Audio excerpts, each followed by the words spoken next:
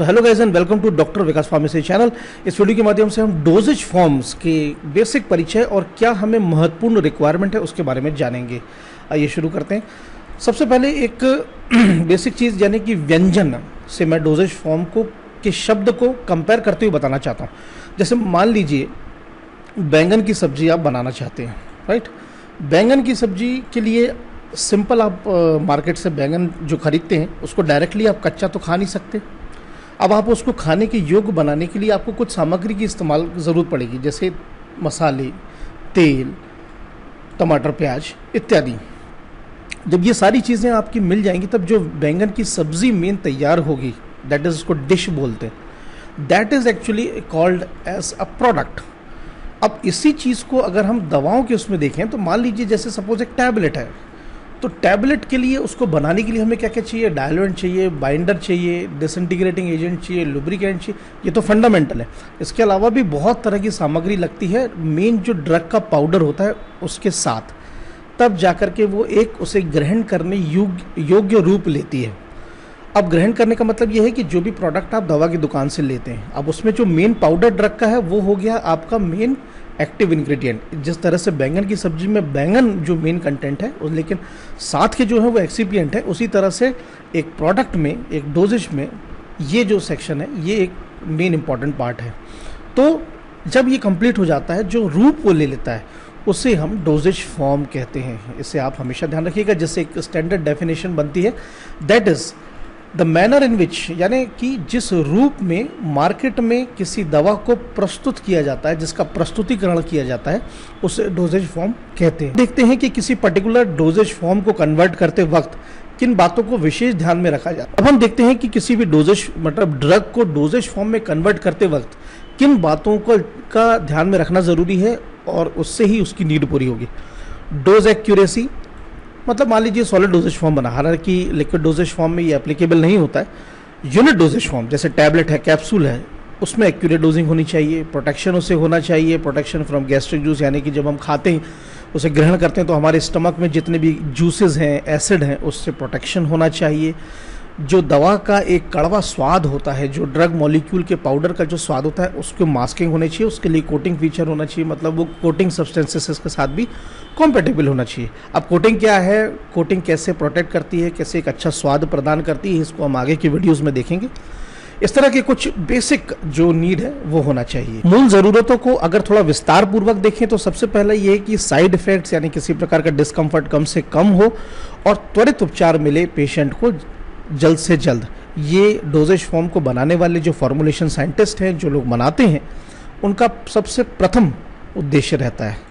इसके बाद देन जो कुछ वांछनीय, यानी कि जो बेसिक रिक्वायरमेंट्स हैं, वो ये कि handle convenient to handle use and store मतलब अच्छे से उसकी पैकेजिंग हो जानी चाहिए। इसी तरह से शायद आपने देखा होगा, आप कभी इमेजिन करिए कि टैबलेट का शेप एक जस्ट मैं एग्जांपल बता रहा हूँ कि टैबलेट का शेप राउंड ही क्यों होता है? स्क्वायर क्यों नहीं होता? कई शेप आते हैं, लेकिन मेजरली राउंड होता है।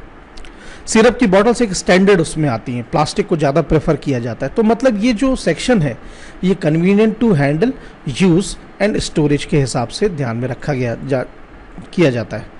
इसके बाद वो स्टेबल होना चाहिए। स्टेबल से यहाँ पर मतलब है उनकी स्टेबिलिटी यानी कि शेल्फ लाइफ आप देखते हैं। जैसे आप एक दुकान से टैबलेट का पत्ता खरीदते हैं तो आप देखते हैं कि उसकी एक्सपायरी जो है, दो साल, तीन साल होती है।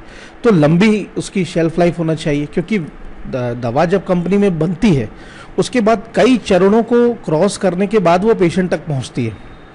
मतलब फैक्ट्री से निकलेगी होलसेलर के पास जाएगी होलसेलर से रिटेलर के पास जाएगी रिटेलर्स के के पास जाने के बाद उसको पेशेंट के पास जाएगी। अब पेशेंट उसे इतने पीरियड पीरियड टाइम में वो स्टेबल रहे एक्सपायर नहीं हो, क्योंकि एक रासायनिक पदार्थ है शेल्फ लाइफ अच्छी खासी होना चाहिए। ये भी डोजेज फॉर्म के अंतर्गत इसलिए आता है दोस्तों, क्योंकि ड्रग की अपनी खुद की शेल्फ लाइफ तो डेफिनेटली होती है, लेकिन जब एक्सीपियंट यानी जो अतिरिक्त सामग्री से मिलने के बाद जो दवा डोजेज फॉर्म तैयार होता है, वो भी स्टेबल होना चाहिए। इसके बाद विदाउट मतलब विथ स्टैंड मैकेनिकल शॉक अब कहने का मतलब ये है कि जैसे मान लीजिए कंपनी में टैबलेट बनी, अब टैबलेट बनने के बाद वो सीधे ट्रैवल करेगी। कहाँ? होलसेलर के पास। फिर होलसेलर से जाएगी रिटेलर के पास। इस दौरान वो कई तरह के ट्रांसपोर्टेशन होती है। फिर कई टैबलेट्स पत्तों में, डब्बियों में भी आती है। पेशेंट उसको हिलाते मतलब टेम्परिंग होती है, शॉक होते। तो कहीं ऐसा ना हो कि पेशेंट पता लगा दवा का पत्ता खोले और उसमें से पाउडर बाहर आ जाए। मतलब टैबलेट की जो इंटीग्रिटी है, जो ठोसता है, वो बनी रहनी चाहिए। साथ ही साथ टैबलेट इतनी नाजुक भी होना चाहिए कि जैसे हम खा लें। तो हमारे पेट में तुरंत घुल भी जाना चाहिए, टूट भी जाना चाहिए। मतलब ये दोनों उसको जो गुण है प्रदान करने पड़ते हैं फॉर्मुलेशन साइंटिस्ट को।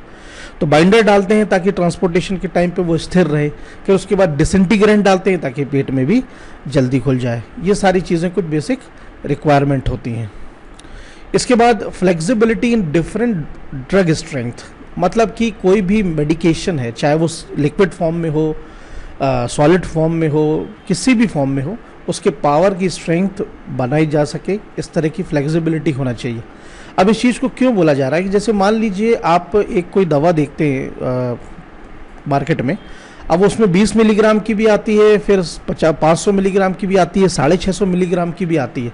अब जितना ज़्यादा का पावर लगेगी, उतना ज़्यादा पाउडर उसका इस्तेमाल होगा, उतने ज़्यादा एक्सीपेंट लगेंगे। तो कुल मिलाकर के टैबलेट का वज़न साइज़ आकार इतना बड़ा नहीं हो जाने चाहिए कि उसको पेशेंट ग्रहण ही ना कर सके।